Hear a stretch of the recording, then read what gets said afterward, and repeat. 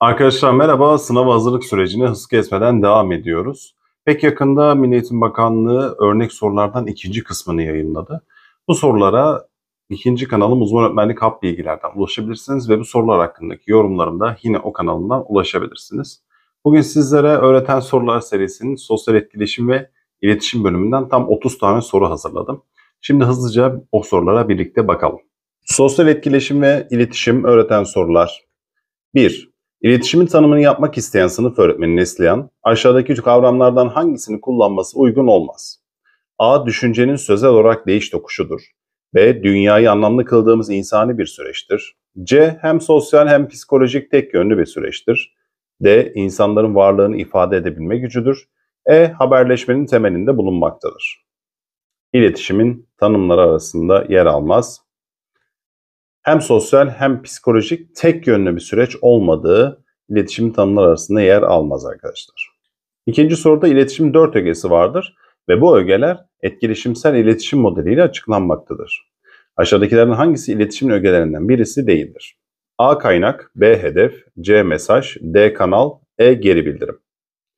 İletişimin dört ögesinden biri olmayan madde geri bildirim. 3. Matematik dersinde Ünal Hoca Beni anlamak matematiği anlamaktır, matematiği anlamak beni anlamaktır diyerek öğrencilerin ilgisini derse çekmeye çalışmıştır. Ünal Hoca bu sözlerle iletişimin hangi ögesi durumundadır? A kaynak, B hedef, C mesaj, D ileti, E kanal. Beni anlamak matematiği anlamaktır. Matematiği anlamak beni anlamaktır diyen Ünal Hoca kaynak durumundadır. 4. 9. sınıf öğrencisi Kayra Ders esnasında sınıftaki fısıldalaşmalardan dolayı öğretmenini bir türlü anlayamamıştır. Öğretmeni sınıftaki sessizliği sağladıktan sonra dersine devam etmiştir. Öğretmenin tutumu iletişim süreçlerini oluşturan ögelerden hangisiyle açıklanabilir? A. Kodlama, B. Kod açma, C. Gürültü, D. Geri bildirim, E. Yorumlama. Sınıftaki sesten dolayı ders anlamayan öğrenci, öğretmen sınıfı susturuyor. Öğretmen burada iletişim süreçlerini oluşturan ögelerden hangisiyle tabii ki gürültüyü ortadan kaldırarak iletişim sürecini devam ettiriyor. 5. İletişim bireysel işlevlerine bakıldığında aşağıdakilerden hangisi bunlardan biri olamaz? A. Duyguları dile getirmede yardımcıdır. B. Kültürü kuşaktan kuşağa aktaran bir araçtır. C. İnsanı sosyal ve kültürel bir varlığa dönüştürür. D. Bu işlevlerin kullanılmadığı zamanlarda bireyde sağlık sorunları görülür. E. İnsanın en temel ihtiyaçlarından birini giderir. İletişimin bireysel işlevleri.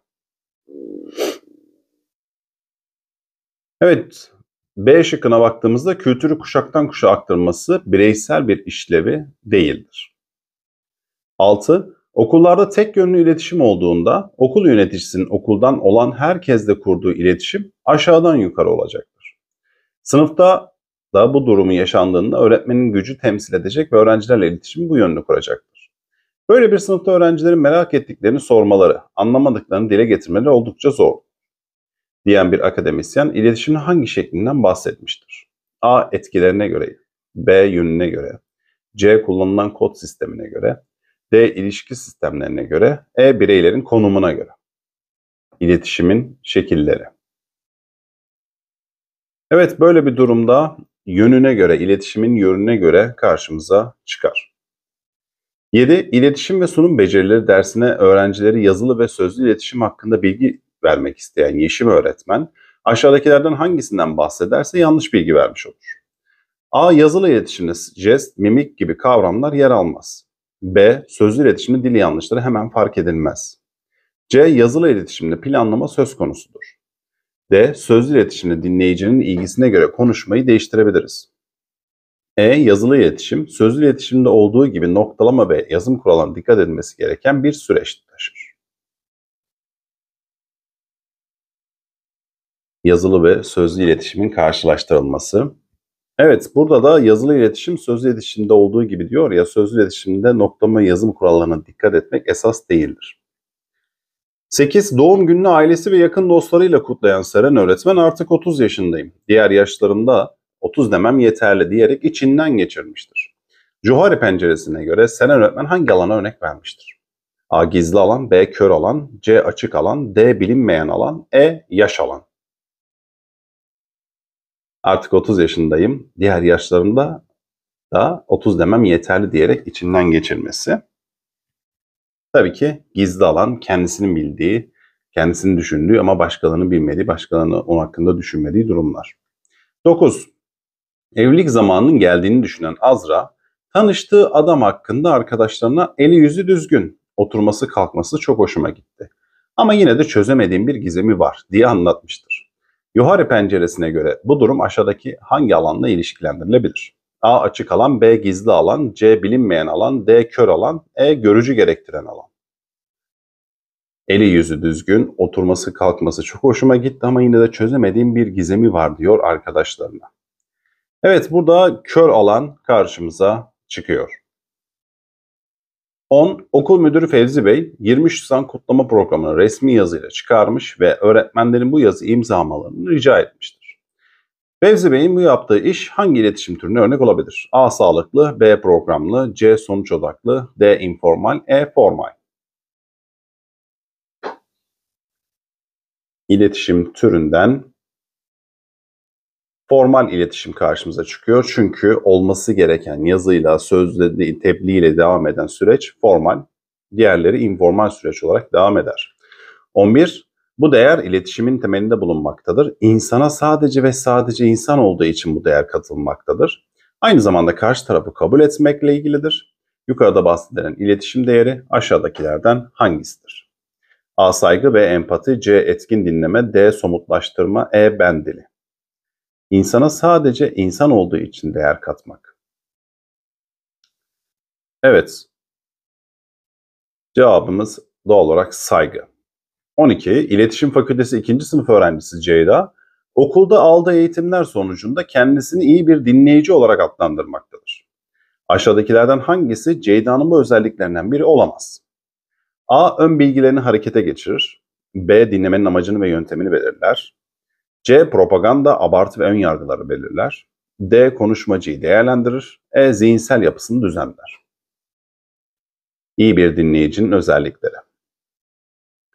Evet, iyi bir dinleyicinin özellikleri arasında konuşmacıyı değil, konuşmayı değerlendirmek vardır. Bu da Ceyda'nın yaptığı bir hata olabilir. 13. Dinleme alanının boyutlarından biri olan fizik işlem boyutunda hem zihinsel hem de fiziksel işlemler yapılmaktadır. Sıralama, sınıflama, ilişki kurma gibi beceriler hangi aşamada yaşanmaktadır? A. işitme, B. Anlama, C. Zihinde yapılandırma, D. Fiziksel etkileşim, E. Zihinsel etkileşim. Sıralama, sınıflama, ilişki kurma gibi beceriler zihinsel zihinde yapılandırmaya göster e, aşamasında göstermektedir. 14. Aşağıdakilerden hangisi bir dinleme türüdür? Değildir değil arkadaşlar. Aşağıdakiler hangisi bir dinleme türüdür? Tekrar söyledim. A. Paranormal dinleme. E. B. Etnik dinleme. C. Edilgin dinleme. D. Mental dinleme. E. Sempatik dinleme. Hangisi bir dinleme türüdür? Tabii ki edilgin dinleme. Diğerleri değil. 15. Lisede tarih öğretmenliği yapan Yılmaz Bey, ders anlatırken ön sıralarda oturan bir öğrencisinin öğrenmeye ve bilgi hatırlamaya dayalı bir dinleme yaptığını fark etmiştir. Öğrencinin bu davranışı hangi dinleme türüne girer? A. Kapsamlı, B. Takdir edici, C. Empatik, D. Çözümleyici, E. Vurgulu. Öğrenmeye ve bilgiyi hatırlamaya dayalı bir dinleme yapmak. Öğrenci kapsamlı bir dinleme yapmıştır. 16. Aşağıdakilerin hangisi ben dilini örnek olarak gösterilemez? A.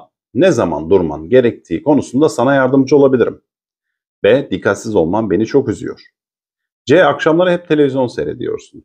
D. Bu davranışların beni kırıyor. E. Seni bekliyor. Evet hangisi bu MEB'in yayınladığı ilk sorularda da vardı ben dili. Muhtemelen buralardan bir soru gelecek zaten. Evet ben dili basit artık hepimiz kavradık. Karşıdakine konuşuyorsak sen dili, kendi duygularımızı anlatarak konuşuyorsak ben dili olarak kısaca özetleyebiliriz. 17. 5. sınıf öğrencilerine yönelik oryantasyon çalışmaları yürüten psikolojik danışman Zuhal Hanım, öğrencilerin olumlu özelliklerine performanslarına vurgu yaparak ihtiyaç duyulan gelişimlerin oluşmasını amaçlamıştır. Zuhal Hanım etkili iletişim becerilerinden hangisinin kullanması uygun olur? A. Etkin katılımlı dinleme, B. Kendini açma, C. Kendini tanıma, D. Ben dili, E. Ego geliştirici dil. öğrencilerin olumlu özelliklerine ve performanslarına vurgu yaparak ihtiyaç duyulan gelişimlerin oluşmasını amaçladığı. İletişim becerisi ego geliştiricileri olarak karşımıza çıkıyor. 18. Sınıf ortamını hayatı zenginleştiren bir öğrenme ortamı yapmak isteyen İbrahim öğretmenin aşağıdakilerden hangisini yapması uygun olmaz? A. Öğrencilerle beraber öğrenme ortamı oluşturmak. B. Kazanım ve kuralları belirlemek. C. Baskıyı ortamdan uzaklaştırmak. D. Motivasyonu sağlamak. E. Proje tabanlı öğrenme oluşturmak. Hayatı zenginleştiren bir öğrenme ortamı yapmak isteyen İbrahim Bey. Evet, İbrahim Bey'in illaki proje tabanlı öğrenme hayat, e, zenginliği oluşturması zorun değil. O yüzden bunu yapması uygun olmaz. 19. İletişim engelleri fiziksel, psikolojik, sosyal ve örgütsel engeller olarak sınıflandırılabilir. Aşağıdakilerden hangisi iletişimin örgütsel engellerinden biri olamaz? A. Roller B. Zaman baskısı C. Tutum D. Hiyerarşi E. Yönetim tarzı Evet çok kolay bir soru bu. İletişimin fiziksel, psikolojik ve sosyal örgütsel engellerinden hangisi örgütsel engellerden biri olamaz? Evet tutum direkt psikolojik ve sosyal e, şeylerden engellerden olarak karşımıza çıkıyor. 20. Alıcının ve vericinin mesajı kodlarken veya iletirken gerekli dikkati göstermemelerinden kaynaklanan engellerdir. Yukarıda tanımı verilen iletişim engeli unsuru hangisidir? A. Kişisel unsurlar, B. Fiziksel unsurlar, C. Semantik unsurlar, D. Zaman baskısı, E. Algılamadaki seçicilik. Alıcının ve vericinin mesajı kodlarken veya iletirken gerekli dikkati göstermemeleri kişisel unsurlardan, kişilerden kaynaklanan bir engeldir. 21. Okul saatlerinden sonra destekleme ve yetiştirme kurslarına kalan 8. sınıf öğrencisi Ülkü, eve gittikten sonra çok yorgun olduğundan ailesiyle birlikte vakit geçirememektedir. Ülkü iletişimi engelleyen unsurlardan hangisine takılmıştır? A. Kişisel, B. Fiziksel, C. Semantik, D. Zaman baskısı, E. Algılamadaki seçicilik.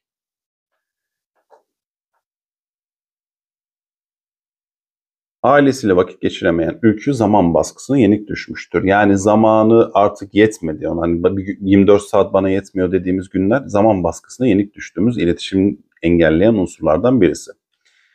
22. 12. sınıf öğrencisi Polat.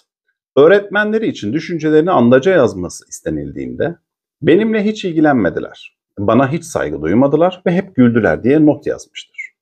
Polat'ın bu şekilde düşünmesinden dilin engellerinden hangisine maruz kaldığı söylenebilir. Öğretmenleri tarafından maruz kalındığı, bırakıldığı söylenebilir veya A. Avutma, B. Alaycı davranma, C. Yargılama, D. Uyarma, E. Emir verme. Benimle hiç ilgilenmediler, bana hiç saygı duymadılar ve hep güldüler. V'den sonra yani hep güldüler aslında cevabı direkt veriyor. Öğretmenleri öğrenciye alaycı davranmış. Maalesef böyle öğretmenlerimiz var. 23. Aşağıdakilerden hangisi ekolojik sistem yaklaşımının temel prensiplerinden biri değildir? A. Sistemler arası geçiş sınırlıdır. B. Birbirini etkileyen farklı sistemler vardır. C. Doğrudan içinde bulunulmayan sistem çocuğu etkiler. D. Sistemler arası iletişimin tutarlılığı önemlidir. E. Modelin merkezinde çocuk vardır. Temel prensipleri. Ekolojik sistem yaklaşım deyince hani o mezosistem, mikrosistem, egzosistem aklınıza gelsin direkt. Ekolojik. Evet, sistemler arası geçiş sınırlı değildir. Zaten e, sistem içerisinde bulunur herkes ve sistem halkalar şeklinde birbirinde genişler. 24. İnsanların yüz yüze etkileşim içinde oldukları ortamlar hangi sisteme dahildir? A. Mikro, B. Makro, C. Mezo, D. Exo, E. Krono sistem yüz yüze iletişim içerisinde en samimi, en yakın sistem mikrosistemdir. Mesela ailemiz. 25. Savaşlarda veya ekonomik kriz dönemlerinde suç davranışlarında artış olması hangi sistemin özelliğidir? A. Makro, B. Mezo, C. Exo, D. Krono, E. Mikrosistem savaşlarda ve ekonomik kriz dönemlerinde suç davranışlarının artması, güncel olması, güncel olayların, sıkıntıların yaşanması kronosistem, kronolojik olarak aklınıza kalsın. 26. Beden eğitimi öğretmeni Mehmet Bey'in çalıştığı kurumda arkadaşça ilişkiler, işleri kolaylaştırıcı, katılımcılığı teşvik gibi faktörler önemlidir. Ve yönetici örgütte kurmay bir liderlik örneği sergilemektedir. Mehmet'in çalıştığı kurum Pakdenen sınıflandırılmasına göre hangi iklimdedir? A. Özerk, B. Acık, C. idareci, D. Kapalı, E. Babacan. Evet burada da baktığımızda açık iklim hepimizin istediği iklim okul türünde. 27. Bu iklim kısmen kapalı bir iklim olup çalışanların birlikte hareket etmediği, grup içinde bölünmelerin olduğu ve yöneticinin sürekli kontrol edici görevinde olduğu bir iklimdir.